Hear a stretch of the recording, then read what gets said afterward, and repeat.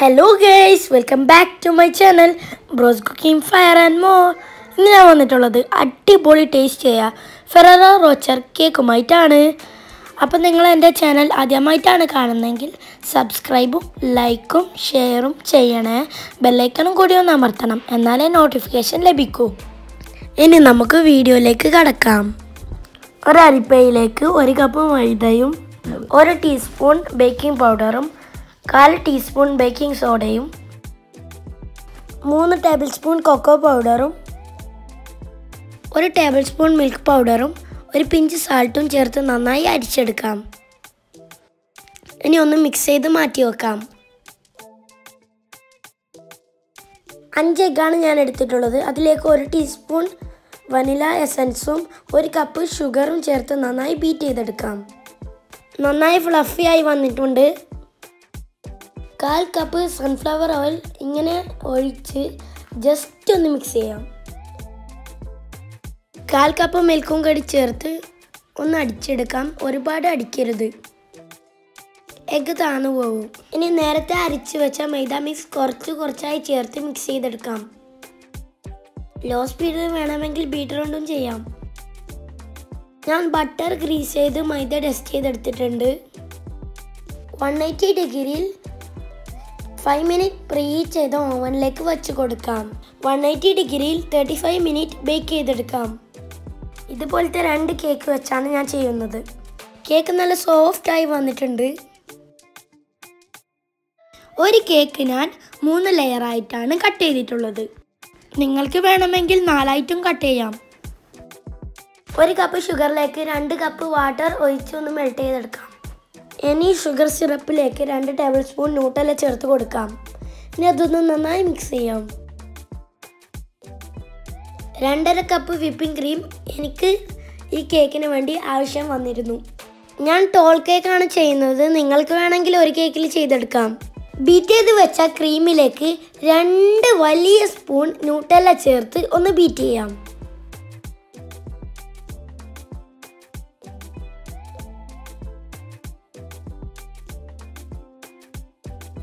Frost ചെയ്യാനുള്ള cream ready ആയിട്ടുണ്ട്. അര കപ്പ് ചോക്ലേറ്റിലേക്ക് മുക്കാൽ കപ്പ് വിപ്പിംഗ് ക്രീം ആഡ് ചെയ്ത് ഡബിൾ ബോയിൽ രീതിയിൽ മെൽറ്റ് ചെയ്തെടുക്കാം.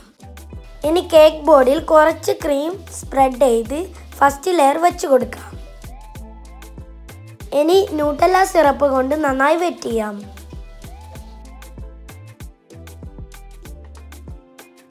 ഇനി ക്രീം ചെയ്യാം.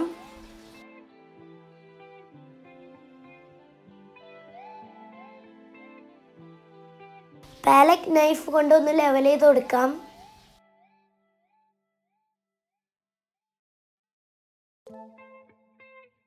ഇനി അതിന്റെ മുകളിൽ നമ്മൾ റെഡിയാക്കി വെച്ച ഗനാഷ് ആഡ് ചെയ്യാം. അതും ഒന്ന് പാലറ്റ് നൈഫ് കൊണ്ട് ലെവൽ ചെയ്ത് കൊടുക്കാം. ഇനി കുറച്ച് നെറ്റ് സ്പ്രെഡ് ചെയ്ത് കൊടുക്കാം. ഹേസൽ നട്ടോ കാഷോ കയ്യിലുള്ളത് യൂസ് ചെയ്യാം. എല്ലാ ലെയറും ഇതേപോലെ തന്നെ ചെയ്തെടുക്കാം. ഞാൻ കേക്ക് സിക്സ് ലെയറായാണ് ചെയ്തെടുത്തത്.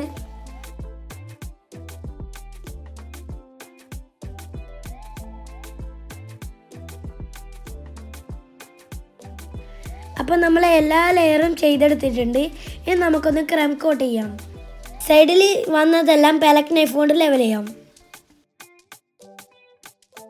ഇനി കുറച്ച് ക്രീം മുകളിലും സൈഡിലെല്ലാം ആക്കി ക്രം കോട്ട് ചെയ്തെടുക്കാം. എന്റെ ഉമ്മക്ക് കേക്കാക്കി വല്ല എക്സ്പീരിയൻസ് ഒന്നുമില്ല. എന്റെയും ബ്രോന്റെയും ബർത്ത്ഡേക്കല്ലേ ഉമ്മ കേക്കാക്കാറുള്ളൂ. ഇന്ന് ബ്രോന്റെ ബർത്ത്ഡേ ആണ്. അതുകൊണ്ടാണ് കേക്കാക്കിനി.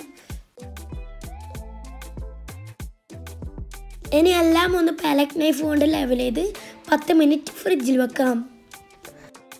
ഇനി നന്നായി ക്രീം അപ്ലൈ ചെയ്ത് ഫ്രോസ്റ്റ് ചെയ്തെടുക്കാം.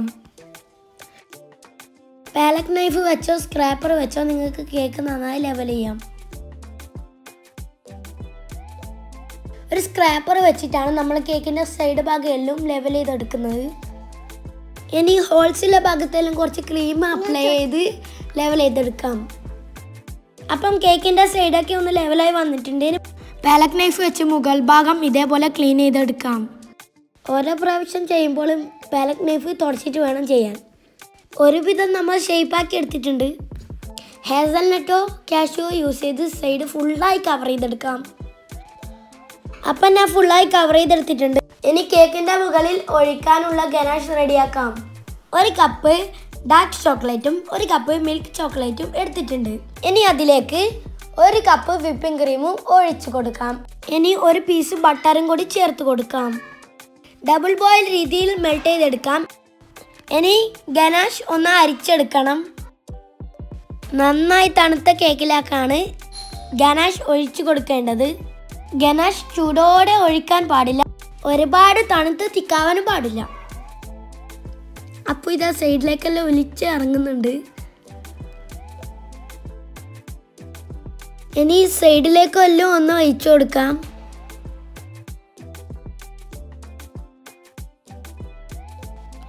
ചോക്ലേറ്റ് ആവാത്ത ഭാഗങ്ങളിലൊക്കെ പൈപ്പിംഗ് ബാഗ് യൂസ് ചെയ്ത് ചോക്ലേറ്റ് ആക്കി കൊടുക്കാം. അപ്പോൾ ഇതാ ഞാനൊരു പൈപ്പിംഗ് ബാഗിലാക്കിയിട്ട് മൊത്തമായിട്ട് സ്പ്രെഡ് ചെയ്തെടുക്കുന്നുണ്ട്.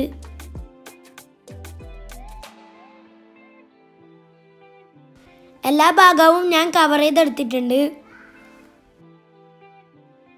ഇനി നമുക്ക് ഇതിൽ ഇഷ്ടമുള്ള ഡിസൈൻ ചെയ്തെടുക്കാം. ഞാൻ ഇതേപോലുള്ള ഒരു ഡിസൈനാണ് ചെയ്തെടുക്കുന്നത്. ഇനി ഹേസൽ നട്ടും ഫെററ റോച്ചറും ഇതിന്റെ മുകളിൽ വെച്ച് കൊടുക്കുന്നുണ്ട്.